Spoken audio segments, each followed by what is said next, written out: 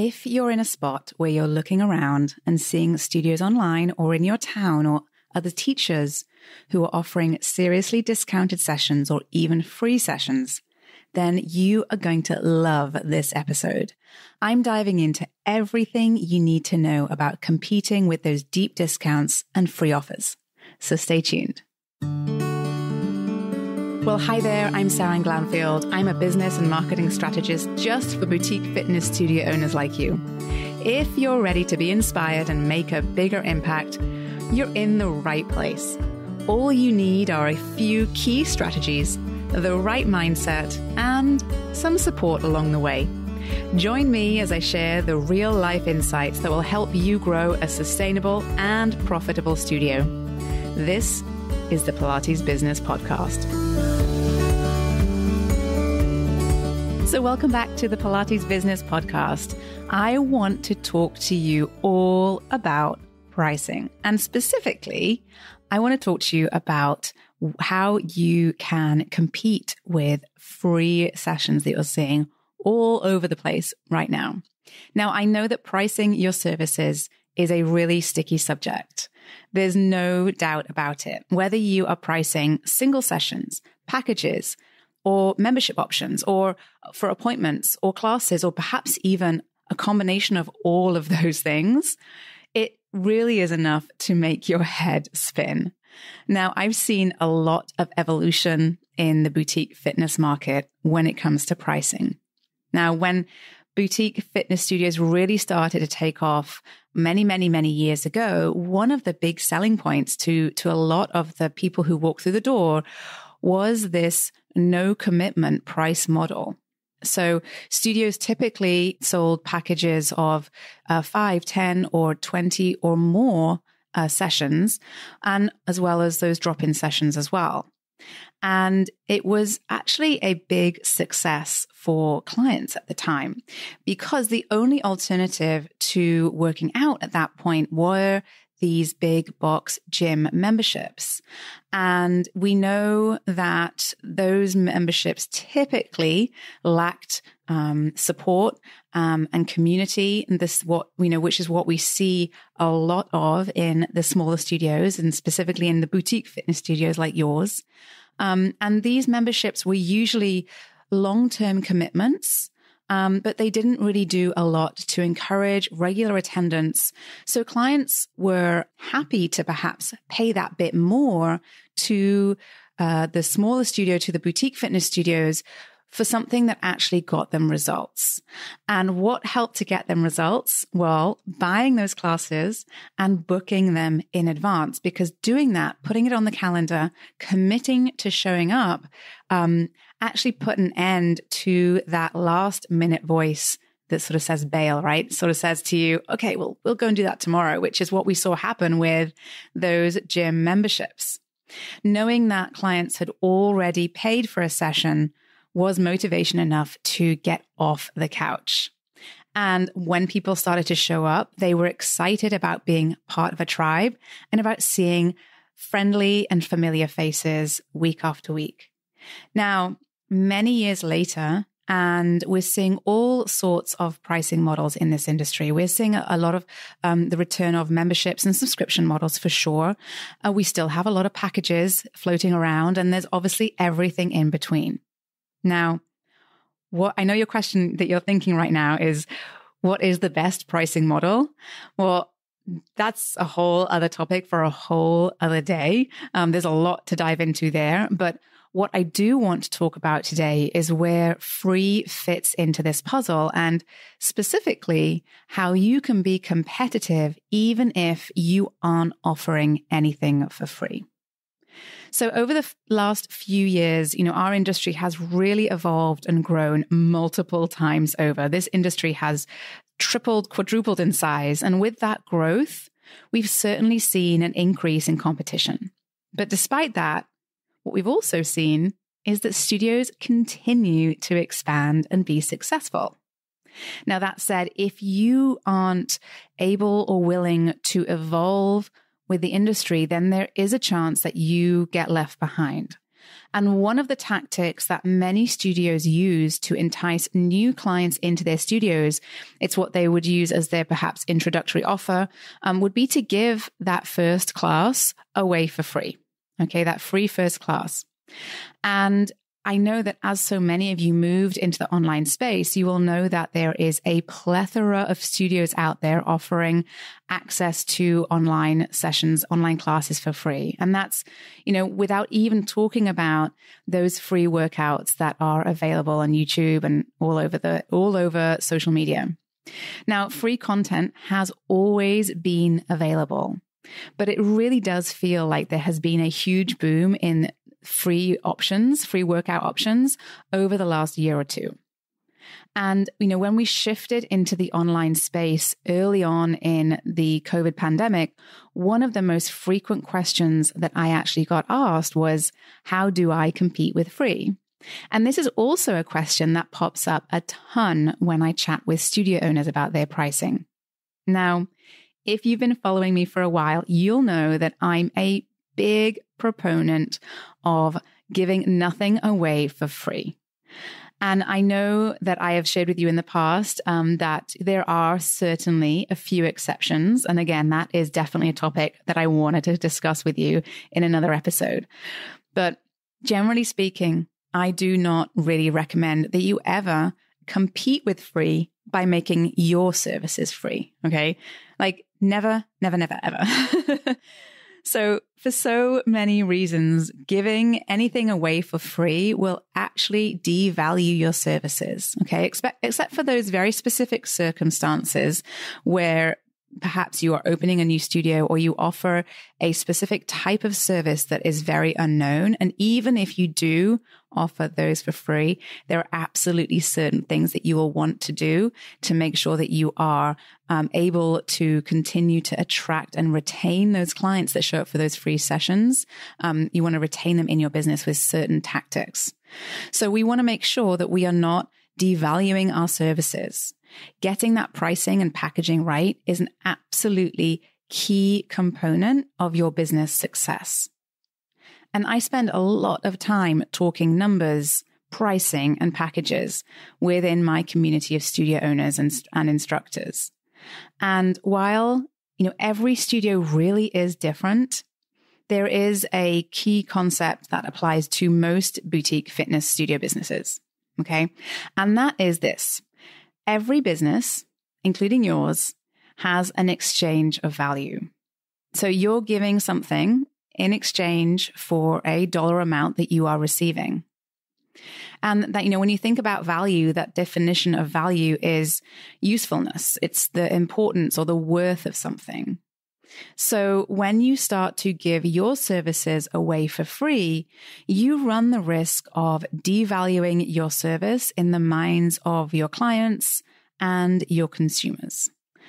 And we don't really want that at all because what happens is if they are devaluing your services, if they feel that, you know, the free or very, very highly discounted price point is um, a good uh, representation of the price point of your business, then when it goes, when we go on to perhaps try to sell them that next off offer, which comes, you know, perhaps for the next session or if they want to keep coming back to the studio, it's going to feel like an unnecessarily large jump to hop back up into a more standard pricing point. So like I said already, I really don't encourage you to give your classes or sessions away for free. Okay. And so if you do, perhaps, you know, perhaps you already are offering, and I, I know that there are some of you out there who are already offering that first class for free or a free intro consultation, that sort of thing. And so if you're feeling like it's not something that you want to change and you are already offering a first class free, then there are ways to mitigate that issue of devaluing your classes with a marketing message that you kind of ensure that you are sharing around that particular offer. So you want to make sure that as you're introducing that free offer, you're also positioning the offer as perhaps different or um, specific to that particular time. Um, and you want to make sure that you're super clear about what comes next to, for your clients to continue their journey with you. So if what you're doing is working and you are offering that first class free and you're very happy with that, and when I say happy with it, it should be bringing you clients, which it probably is. But most importantly, it should be, um, it should also be bringing you long term clients. It should be, you should be able to convert those new people, the people that come and take that first class free offer and um, transition them into long term loyal clients that are coming over and over and over again. Okay. So if that's you and it's working for you and you're getting new clients in and you're getting great conversion numbers on those clients, then don't let me get in the way of your success. But if you are not sure about whether or not it is working for you, then perhaps there's an opportunity for you to, to perhaps try some other tactics around that price point or perhaps layer on marketing or uh, a customer journey uh, process that will help to convert those clients. Now, if you are in a situation where you don't offer a first free class, which I'm sure many of you are, but you may be concerned because there are other studios around you that are offering that free class um, then you're probably wondering how it is you can compete with that. And it's, I know that it's something that weighs on many studio owners' minds, many teachers' minds. And I know that when it comes to when you see a lot of people around you offering something for free, um, and you know how enticing that is for the average person, you want to know how you can compete with that, right? And I'm here to say that you don't you don't have to compete with that. And you certainly don't have to compete with price. So, what do I mean by that? Well, what I've seen is that the more concerned that you are with pricing your services and the more that you talk about pricing in your marketing, then that tends to be what your clients also focus on. And this is something that comes up over and over again. And so often the shift actually comes with you as the studio owner to shift your focus away from the price point and focus on marketing the experience you give or the problems that you solve. So instead of competing on price, you're actually competing on what makes your studio unique, what makes your studio different, and what happens inside of the four walls of your studio or behind the screen in your online studio. Because what happens when you only talk about special deals and one time promotions, you see over and over again that that's where your clients tend to go as well. And, you know, some studios do well with that type of marketing tactics. They, if you have a high volume of clients and you have you you have a low uh, sort of need for attendance, then maybe that's something that would work. But for most of my clients that I work with, most studio owners I work with, they're looking for clients who are committed to their uh, their routine of visiting their studio at least two to three times a week right? And so we are not looking for clients who are looking for a deal where they show up once and never come back. Um, so what I found is that if you're talking about deals constantly, you're going to find you're going to be attracting people into your business who are also looking for deals. Whereas if you start to shift that messaging to talk about your studio brand message, your studio, your brand promise, and you shift the positioning of your marketing to be talking about the experience, then that's what your clients will also focus on. So, you know, if you think about those low cost operators out there, those dollar stores or the low cost airlines, you know, they're all associated with low prices. You name that brand and you think of, you think of cheap, you think of low cost. Right. And what goes along with that are, you know, saving money and perhaps some compromise when it comes to quality right? So it's the it's that it's that low cost airline that doesn't offer seat assignments or that grocery store that sells products really close to the sell by date, right? Now, business models that focus on price are not the same as business models that focus on value. And for most of my boutique fitness studios, they are business models that are focused on value. So we want to make sure that your marketing and your pricing aligns with that. When you align all of those things, your clients will also see you differently.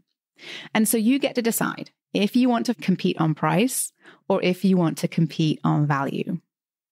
And when I say value, I mean experience or what the experience you deliver inside of your studio or the impact your studio can have on your clients' lives. Now, studies in behavior economics tells us over and over again that free just does get people's attention. It really does get people to light up. And so we, you know, when it comes to marketing, we have to acknowledge that, that, you know, free does tend to get uh, a lot of attention from people. And so there is a lot of power in giving something away for free, but it doesn't have to be your main offer. There are very many ways to use that incentive that will, in fact, boost your revenue without costing you too much in overhead. And so when you start to make these small changes and these small shifts in your marketing, you can recognize yourself as being different right? And you recognize yourself as standing out and your mindset actually starts to shift away from being concerned about what your competitors are priced at and more concerned about finding clients who are looking for the experience that you deliver instead. So ultimately, what you talk about is what will become your client's focus. And you know, the reality is that working out is free for everyone. You know, there are thousands of free YouTube workout videos. There always has been. There's thousands of Instagram lives each day. There always has been. There are thousands of Facebook group videos filled with short workouts, you know, and there's always, you know, anyone can throw on a pair of sneakers and go for a run. But despite that, clients are still flocking to your studio. So instead of comparing your studio to what is out there, instead of comparing your pricing to what is out there, acknowledge that what happens inside the four walls of your studio or behind the screen in your digital class is unique to you. And that's what you should be honing in on. Once you do that, you'll find that this pricing concern becomes less of a concern and maybe even a gift to you because you can shift your focus and the focus of your marketing to really be about the benefits of being a client in your studio. Now, there are so many ways to structure your pricing. Like I mentioned, so many different ways you can do it, but it has to 100% be aligned with your business. And there are so many ways to distinguish yourself in your marketing so that you don't have to compete on price and price alone. I've been talking about this topic a ton over the last year or so, but you know, it's something that really does come up often. And there's that's always kind of a sign on to me that there may be some other things that we need to work on inside your business to help strengthen your marketing efforts. Just something to think about. I really hope this episode of the Pilates Business Podcast was helpful to you. If it was, be sure to never miss another episode by hitting that follow or subscribe button wherever you listen to podcasts. I'll see you next time. Did you love this episode and want more? Head to spring3.com and check out my free resources that will help you run a profitable and fulfilling studio business. And before you go, one last reminder there is no one way to do what you do, only your way. So, whatever it is that you want to do, create, or offer, you've got this. Thanks again for joining me today and have a wonderful rest of your day.